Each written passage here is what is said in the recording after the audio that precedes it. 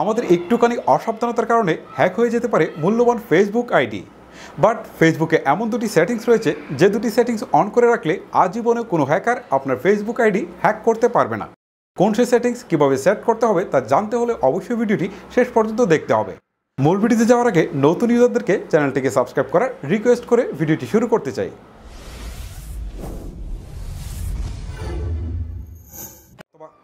প্রথমে আপনার মোবাইল অথবা কম্পিউটার থেকে লগ করতে হবে আপনার ফেসবুক অ্যাকাউন্টে। সো আমি প্রথমে ফেসবুক অ্যাকাউন্টে প্রবেশ করছি। সো প্রবেশ করার পর আপনাদের সামনে এরকম একটা ইন্টারফেস আসবে। সো আসার পর ঠিক ম্যাসেঞ্জারের নিচে দেখেন, ঠিক ডান পাশে তিনটা ডটস রয়েছে। সো এটাতে ক্লিক করতে হবে। ক্লিক করার পর একটু স্ক্রল করে নিচের দিকে যেতে হবে। নিচের দিকে দেখেন, এখানে রয়েছে সেটিংস অ্যান্ড প্রাইভেসি নামে একটা অপশন সো এটাতে ক্লিক করতে হবে। ক্লিক করার পর আরেকটু নিচের দিকে দেখেন, এখানে সেটিংস নামে একটা অপশন রয়েছে। সো এই সেটিংসে ক্লিক করতে হবে। সেটিংসে ক্লিক করার পর আরেকটু নিচের দিকে দেখেন, এখানে রয়েছে সিকিউরিটি অ্যান্ড লগিং সো আমি সিকিউরিটি অ্যান্ড লগিংয়ে ক্লিক করলাম। সো এখান থেকে আবার যদি আমরা একটু স্ক্রল করে নিচের দিকে যাই, নিচের দিকে যাই, তাহলে এখানে দেখতে পারবেন টু ফ্যাক্টর অথরাইজেশন নামে আরও একটা অপশন রয়েছে। সো আমি এটাতে ক্লিক করব। এখন দেখেন, এখানে দেখাচ্ছে তিনটা অপশন প্রথমটা হচ্ছে অথরাইজেশন অ্যাপ, দ্বিতীয়টা হচ্ছে টেক্সট মেসেজ, এবং তৃতীয়টা হচ্ছে সিকিউরিটি কি। এখন আমি একটু আপনাদেরকে বলব যে অ্যাকচুয়ালি কি করতে যাচ্ছি। এই যে প্রথম যে অপশনটা, এটাকে যদি আমরা অন করে দেই, তাহলে যদি আমাদের ফেসবুক আইডি, পাসওয়ার্ড অথবা আইডি দুটোই কেউ নিয়ে যায় এবং সে প্রবেশ করার চেষ্টা করে, তাহলে কিন্তু আমাদের যে অ্যাপস রয়েছে, সেই অ্যাপসে কিন্তু একটা মেসেজ আসবে। সেই মেসেজে ইয়েস অর নো এরকম একটা অপশন থাকবে। সো আমরা যদি ইয়েসটাকে অন করে দেই, তাহলে সেই ব্যক্তি আমাদের ফেসবুক আইডিতে প্রবেশ করতে পারবে। আই মিন পাসওয়ার্ড দিয়ে। আর যদি আমরা নো করে দেই, তাহলে আর সে ঢুকতে পারবে না। আরেকটা নিচে অপশন রয়েছে টেক্সট মেসেজ এটা যদি আমরা অন করে দিই, তাহলে সেই ব্যক্তি যদি আমাদের ফেসবুক আইডি এবং পাসওয়ার্ড দিয়ে ঢোকার চেষ্টা করে, তাহলে কিন্তু আমাদের সিমে একটা মেসেজ চলে আসবে। সো এই মেসেজে একটা কোড থাকবে। সেই কোডটা যদি আমরা তাকে দিয়ে দেই, তাহলে সে প্রবেশ করতে পারবে। তো বুঝতেই পারছেন এই সিকিউরিটির ব্যবস্থাটা কতটা স্ট্রং হবে। আই মিন এখন থেকে আপনার ফেসবুকের পাসওয়ার্ড কেউ নিয়ে গেলেও সে কিন্তু আর আপনার ফেসবুক আইডিতে প্রবেশ করতে পারবে না। সো সিকিউরিটি ব্যবস্থাটা খুবই স্ট্রং এখন এটাকে কীভাবে অন করবেন সেটাই দেখি।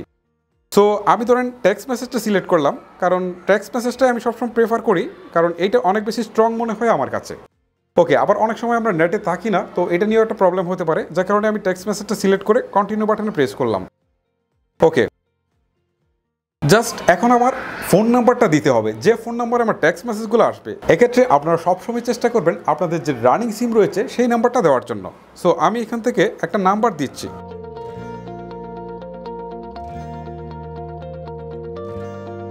ওকে আমি এবারে কনফার্ম বাটনে ক্লিক করব।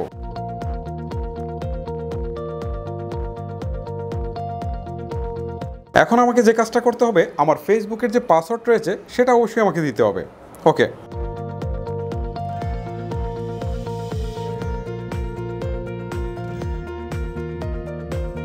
ফেসবুকের পাসওয়ার্ড দিয়ে দিলাম।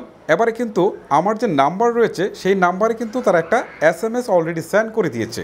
এখন তারা যে কাজটি করল, আমার সিমে কিন্তু তারা একটা এস এম এস পাঠিয়েছে।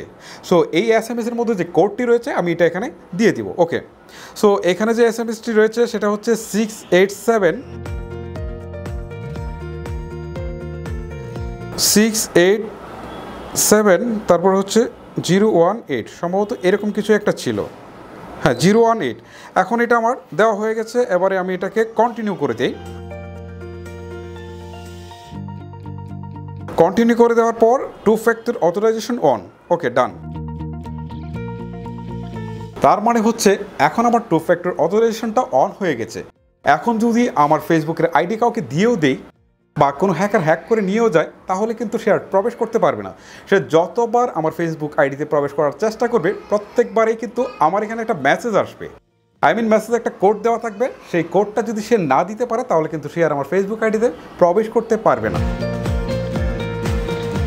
এবারে যে টিপসটি আপনাদের সাথে শেয়ার করব, সেটা কিন্তু খুবই ইজি বাট এই দুইটা যদি একসাথে আপনারা অন করে রাখতে পারেন, তাহলে আজীবনেও কোনো হ্যাকার আপনার ফেসবুক আইডি হ্যাক করতে পারবে না। সো এখন আপনাদেরকে আবারও নিয়ে যাচ্ছি সেই থ্রি ডটসে সো এখানে ক্লিক দেওয়ার পর একদম নিচের দিকে দেখেন এই প্রাইভেসি অ্যান্ড সেটিংস তারপরে হচ্ছে আবারও সেটিংস সেটিংস থেকে এখানে সিকিউরিটি অ্যান্ড লগিং মানে পূর্বের জায়গায় সেই কাছাকাছিতে চলে এসেছি। সো এখান থেকে চেঞ্জ পাসওয়ার্ড এখন আমি আপনাদেরকে সেই চেঞ্জ পাসওয়ার্ড কেন দেখাচ্ছি, এটার কিন্তু বড় একটা রিজন রয়েছে। কারণ আমরা যে পাসওয়ার্ডগুলো সাধারণত ব্যবহার করে থাকি সেইগুলো আমাদের মোবাইল নাম্বার হয়, অথবা আমাদের যে ইমেল আইডি হয়, সেটার কাছাকাছি কোনো একটা দিয়ে ওয়ান টু থ্রি দিয়ে দিই। এরকম কিছু একটা হয়, অথবা সংখ্যা দিয়ে দিয়ে দিই। বাট এগুলা কিন্তু খুবই ইজি পাসওয়ার্ড এগুলো কিন্তু খুব সহজেই হ্যাক করা যায়। আর আমি এখন যে আপনাদেরকে পাসওয়ার্ডটার বিষয়ে বলব, সেটা কিন্তু খুবই স্ট্রং একটা পাসওয়ার্ড হবে, যেটা কিন্তু কোনো হ্যাকারই হ্যাক করতে পারবে না। কি দিলে আপনার পাসওয়ার্ড অনেক বেশি স্ট্রং হবে, আমি আপনাদেরকে বলছি। প্রথমে হচ্ছে ক্যাপিটাল লেটার দিবেন, তারপরে দিবেন স্মল লেটার তারপরে হচ্ছে কিছু সংখ্যা দিবেন, যেমন one two three four five এরকম কিছু সংখ্যা দিবেন। তারপরে হচ্ছে বিভিন্ন চিহ্ন থাকবে, যেমন অ্যাট দ্য রেট অফ থাকবে হ্যাশ থাকবে স্টার থাকবে বা একটা কমা থাকতে পারে, এরকম অনেক কিছু দিবেন। দিয়ে আট ডিজিটের মধ্যে একটা পাসওয়ার্ড চেঞ্জ আপনারা করে নেবেন। সো এই পাসওয়ার্ডটা যদি আপনারা চেঞ্জ করে নিতে পারেন, এটা আমি আর নতুন করে দেখালাম না, কারণ এটা তো মোটামুটি সবাই জানেন।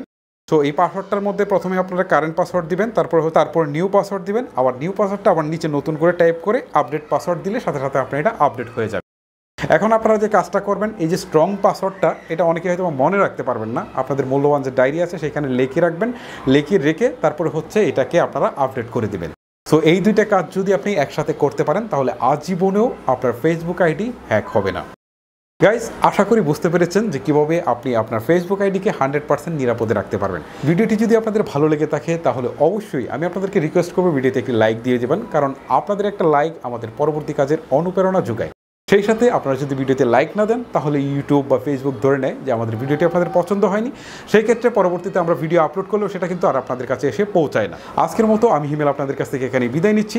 দেখা হচ্ছে পরবর্তী কোনো ভিডিওতে তখন পর্যন্ত সবাই অনেক অনেক ভালো থাকবেন, সুস্থ থাকবেন। আল্লাহ হাফেজ।